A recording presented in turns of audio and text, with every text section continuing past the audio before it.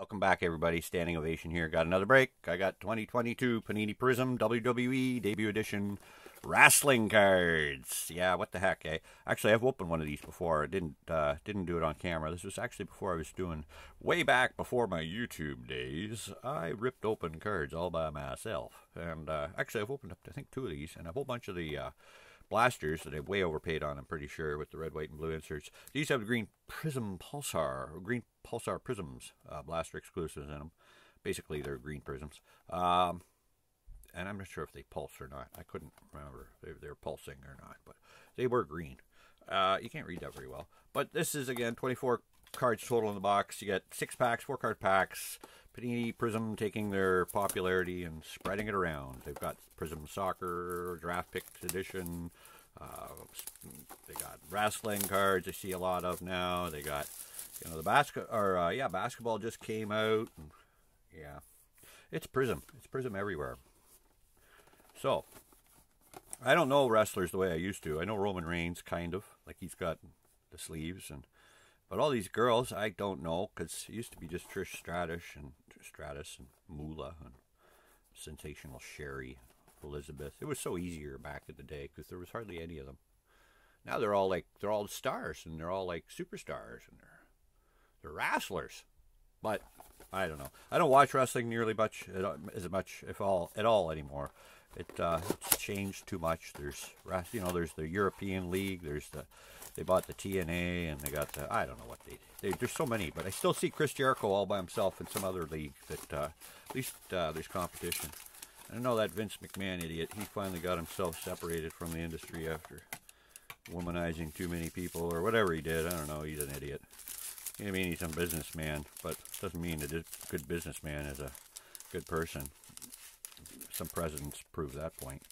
Um, yeah, I don't know why I get picking on U.S. presidents right now. I'm in Canada. I'm a happy Canadian. Let's remain happy and festive. Festive time with six packs of debut edition. And you know what I did? I actually picked up this at the same time. This is the select. I hadn't even seen these before. I know they've been out for a little while too. But I'll back to back this. I don't know if I'll split it, split it into two days or if I'll just put up two separate videos staged apart from each other. I don't know what I'll do. I, I think I got to build up some content for the next couple of weeks because eventually I'm going to go away again and I'm going to have to push a whole bunch of videos in advance. So maybe these will be saved till then. Who knows? Maybe it's Christmas and I'll put it, it's like I'm filming this in October. So who knows when it'll be actually presented to the world. And, you know, for the people that watch wrestling break videos, it's probably not as nearly as many. It's got to be hockey. That's all I love. But, you know, I got, I got to do them all. I'm going to be the YouTube uh, card breaking dude. I got to break them all. Angelo Dawkins. See, I don't know who he is. And I do know that there's like half the half the set is horizontal and the other half is vertical, which for whatever reason they did that. There's Stevie Turner. That's a rookie. See, she's a she's a rookie, and I didn't know that. I don't know who Stevie Turner is. I know who Bruno Sammartino is, the living legend. R.I.P. He was uh, he was a champ way back in the day before Hulk Hogan's and the Iron Sheik. We had Bruno, and uh, yeah, that's an old, old, old school wrestler back in the early 80s. And our prism in this pack is Shayna Baszler. Baszler? It's the standard prism. Card number 100. She's from SmackDown. She's from Sioux Falls, South Dakota, and I still haven't heard of her. So yeah, there's that. Okay, well, I will carry on and see Chad Gable. Haven't heard of him. And I've got Big E. Uh, haven't heard of him. And again, you know, this is just me. I should be probably the kids today who know all these are, right? I mean, kids still watch wrestling if they're not looking at their phones, I think. The Miz, I think I've heard of him. You know, something to do with the Jersey Shore. No, no, that was a different one. Yeah. There's a fearless Becky Lynch, and I've seen these fearless in UFC cards as well, so it's kind of like a crossover insert brand. Miss Becky Lynch. Actually, I pulled a few of those uh, in the first box I broke, so that's not a very rare insert. I think I'll get another one. I'm planning on getting two fearlesses. That's what I'm planning. But hopefully I'll get something else that wasn't like the other ones. Kenny Williams rookie card. Don't know him. Uh, Mandy Rose. Oh, that's uh, she's holding on to her. Now, which one's Mandy? See, I'm going to think it's her, but I don't know. I don't know either. Brock Lesnar. Okay, I have heard of that guy. He's got the ugliest tattoo in all the sports, right up the middle of his chest. It's the smallest sword you'll have ever seen. And there's the Brock, with an entrance, the demon Finn Balor. I guess he has a prismatic entrance. Don't know. Haven't watched him enter. Haven't haven't watched him exit. So so yeah. So yeah. That's the thing.